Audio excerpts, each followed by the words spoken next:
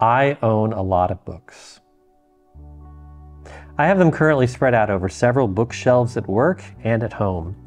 Whenever I move, they always add so much to the cost of the move because of their weight. My wife also loves books, and this past year we were able to have this beautiful bookcase built to house about two thirds of our collection. With all these books, the most common question I'm asked when someone encounters my book collection is Have you read all of these? And the answer is no. I probably read about three quarters of them, but the rest of them are things I'm going to read someday in the future, maybe when I'm retired, or that I use them mainly for reference or some other purpose. Now, I have read the majority of them, and among these, there are some favorites, some things that really stand out. And I want to talk to you about them today in this video. I'm going to tell you about 10 books that I really very much enjoyed. I have some sort of connection to, and I've liked them so much that I've read them more than once. Now, they're not necessarily the world's greatest literature, they're not the ones that all the critics liked, but they had something in them that I related to, had connection to, and that's why I really want to talk about it here today. Now, my name is Eric Vanman, and I'm going to go ahead and tell you about 10 of my favorites. When my son was between the ages of about five to about seven, I would read to him every night, as my wife did as well. But the chosen books that I had to read during this time was I would always read to him from the Harry Potter books. Yes, I read every single word of all seven volumes aloud to my son at bedtime between the ages of five and seven. It was great. I enjoyed every one of those books well, maybe book four, you know, which one was that? The Goblet of Fire. That one was really way too long, a little too wordy, a little too boring. I had to think at the time that maybe J.K. Rowling was given free reign, didn't need an editor anymore or something, but that was the one book where I started to doubt her talents. But by the time I got to the seventh volume, when I got to The Deathly Hallows, I have to say this was the, my favorite of all seven books and mainly because it was such a great payoff for the entire series. I had gone through all of these books and um, was really quite attached to all of the characters. Of course, I'm not about to give away any spoilers here, but uh, like learning about Snape's true story, all of this stuff was just so amazing. And um, those final battle scenes that they had in the book, oh my gosh, I just really love these Harry Potter books, especially book seven. Now, the next two books are going to be nods to Australian writers, and the first one is a very famous writer here in Australia, and maybe you've heard of him too. His name is Tim Winton. This is his, probably his most famous novel, Cloudstreet, that was published in 1991. It takes place in um, Perth, Australia, and it's about two families that share a house, and you follow all of their adventures for about 20 years. Uh, the families are the Lambs and the Pickles, and they experience all sorts of obstacles and tragedies, and they also have relationships among the families. It's really an amazing book. It covers a lot of Australian themes and cultural myths, things like Australia's idea of mateship, and also, you know, Australia being the lucky country. All of these things are dealt with in this epic novel. It's an absolutely riveting read and one that I hope to read again soon. This is the only real young adult book I have on my list, although I guess the Harry Potter books would qualify there, but it's a bit different from that.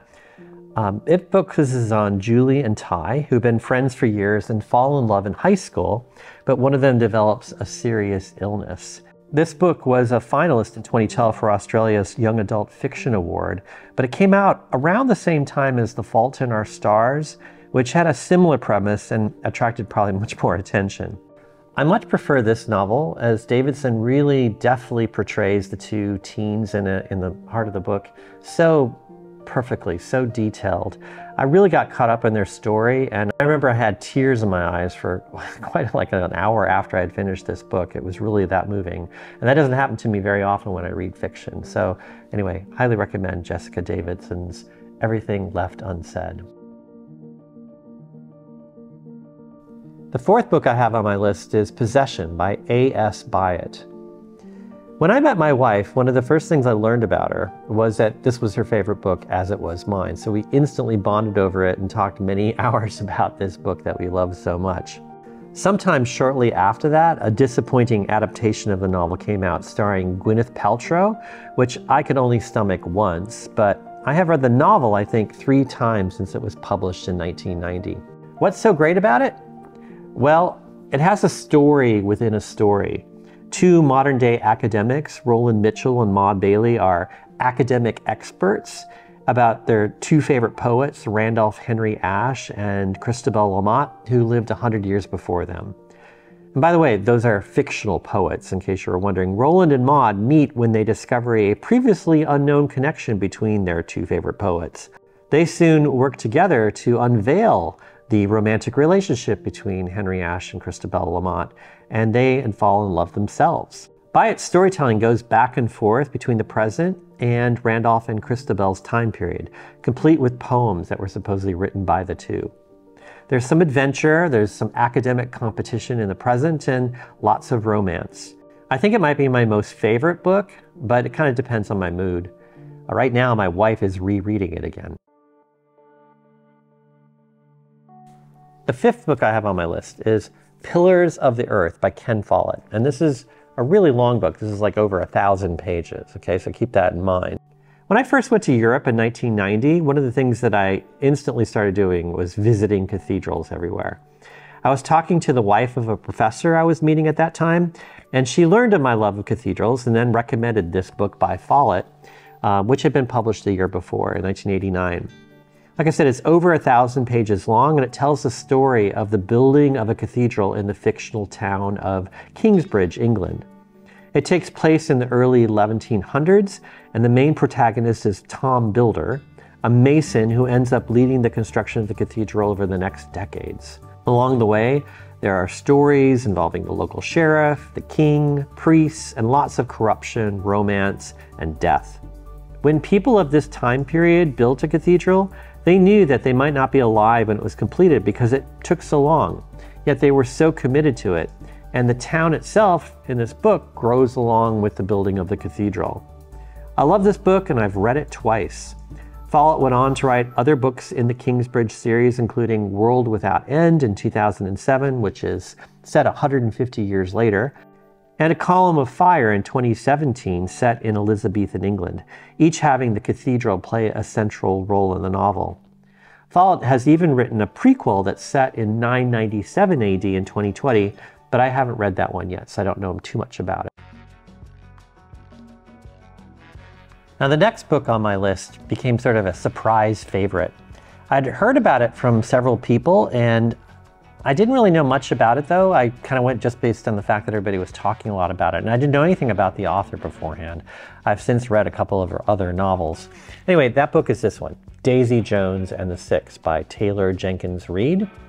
And this book is really an interesting format because what it is, it's supposed to be a sort of fictional oral history about a band that never existed. It's a band that supposedly had its peak in, in the 1970s, releasing an album called Aurora. They went on tour. They were really big. They were like basically like Fleetwood Mac in the 1970s. And so the book is a compilation of interviews with all the different people that were in the band, associated with the band, and so on, including Daisy Jones, who is uh, somebody who joins this band briefly for this period of this um, album and the time of the tour. Anyway, the book is presented, like I said, as oral histories. And so what's interesting is that every time there's an event that occurs in the book, you get to hear it from different perspectives. So it might be only a couple sentences that say, oh, this is what happens when they first met, or this is what happened, and this is what happened. So you get to see each different person recalling what happened. And it, it does a really, that format really works here and it helps you feel like this is real. It makes you really believe that this band existed and there's even like lyrics to their album that Taylor Jenkins Reid has written that appear at the end of the book. So you really, if you didn't know better, you might think this is actually a real oral history of an actual band. There's just so much drama, so much great storytelling, so much really good character development.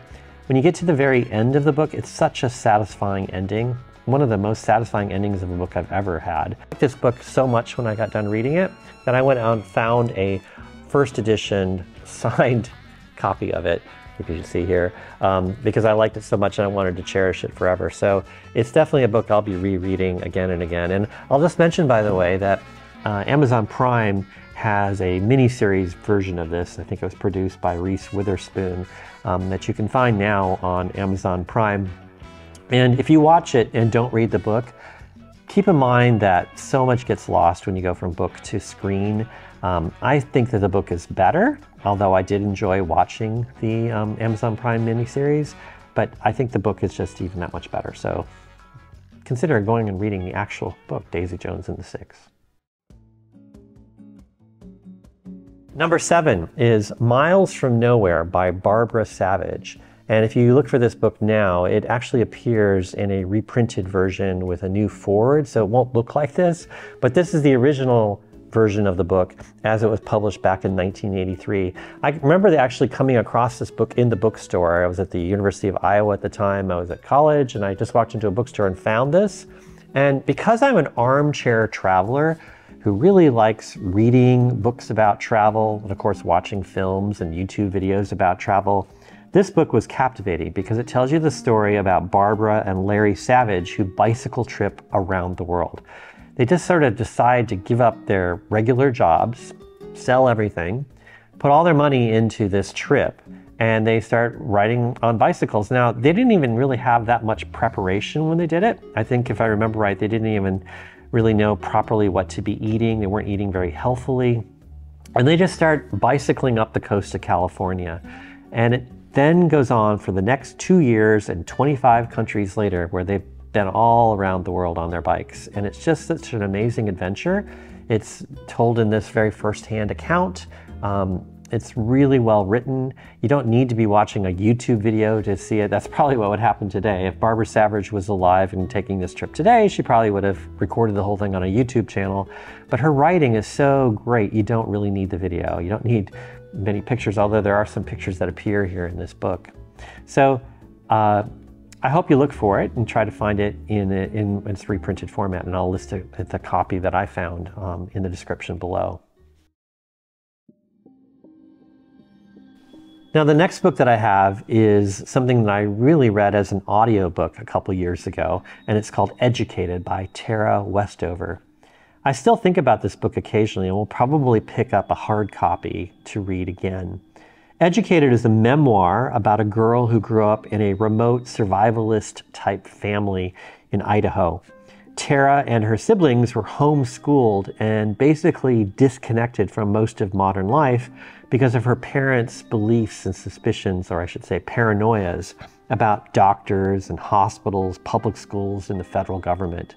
Despite all of those obstacles and some physical abuse that she faces from her family members, um, she managed to find a way to get to college on a scholarship and get away from all of this. And she goes off to college, does really well is an excellent student. And after she finishes her undergraduate degree, she goes off to Cambridge and completes advanced graduate degrees in history. And it's just such an amazing story. It's told in such a very nicely written style. I mean, that on top of it being an inspiring story, I just have to recommend it to you. It's really, really that good. So look for it. Educated by Tara Westover. Number nine is Hall's Dictionary of Subjects and Symbols in Art, written by James Hall back in 1974. Now, this is an 80s version of the book. I think it's still in print. It's, uh, it's sort of like a, a, a reference book that people keep reissuing, or whoever the publisher is keeps reissuing it. This is my version I bought around 1990. Prior to my first trip to Europe, a friend told, told me that I needed to buy this book um, and use it as a guidebook anytime I went into a museum or gallery. And I did that, and I have since taken this book with me almost every time I've ever been to a museum or a gallery since then. The reason for this is that Long ago, when paintings were made, they were originally done in the 1300s, 1200s, 1400s, whatever, for people who were illiterate. They wouldn't have read texts, they wouldn't have been able to read or write. So therefore, they would have looked at these paintings as very rich stories, and they would have understood a lot of the symbolism in there so that they could understand the story. And in our modern eyes, we don't really know what those stories are anymore. We don't know who the characters are in the paintings or what all the symbols mean. And this book helps you understand those. So what you can do is like if you're looking at a painting that has a couple goats and Jesus in it, you might look up goats and find out what goats represent and how they might fit in with the story of Jesus. Or um, it could be anything. It could be about Greek mythology and understand who the different Greek gods are that are in the painting and what they're holding and what their symbols are. Um, it's sort of like a universal decoder for all those European paintings that were painted in centuries before, ago. I, I have never taken a course in art history, so I don't even know if they hold this book in any high regard. But I found it really useful for somebody who, you know, is naive about art and paintings and understanding all the history of it. Now, my last book is actually a set in a trilogy. Okay, you can see it here. And it's called the Griffin and Sabina trilogy. And I'm just going to pop out the first book here.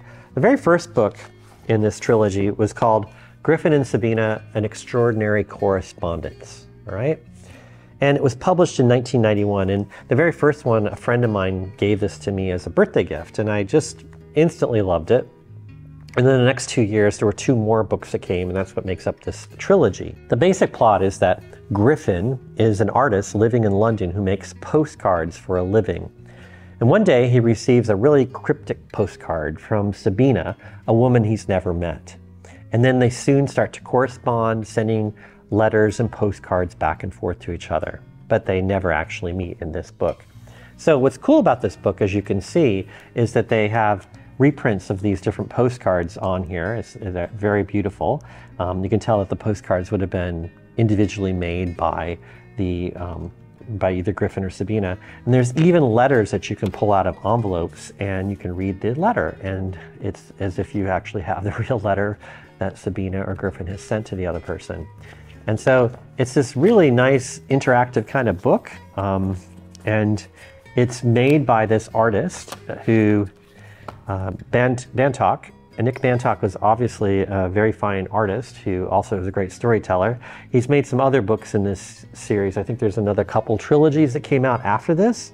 Um, anyway, I got lost in their stories. I just thought these three books were the most fantastic. They're just, they're sort of mysterious. They don't fully tell you all of the details. You get to fill in the gaps.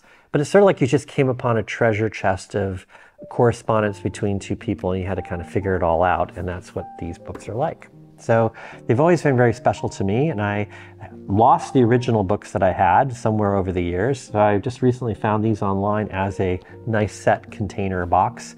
Um, they're kind of expensive. I think this is around $200 when I ordered it online in Australian dollars, uh, but maybe you can find it cheaper at a used bookstore or something. So there are my 10 favorite books of all time. Now I have other favorites and I'm thinking about in future videos giving you like my 10 favorite psychology books or my 10 favorite biographies.